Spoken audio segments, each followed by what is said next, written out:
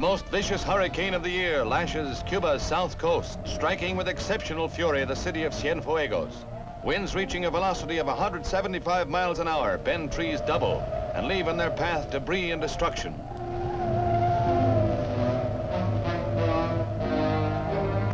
Lashed by the wind, the sea rolls over the seawalls and attacks the residences along the shoreline. To add to the havoc, the Damují River backs up, flooding the area.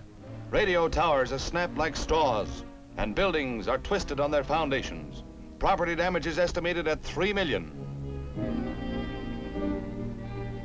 But the main blow falls on the sugar cane crop, main source of Cuba's livelihood, and damage is still unestimated.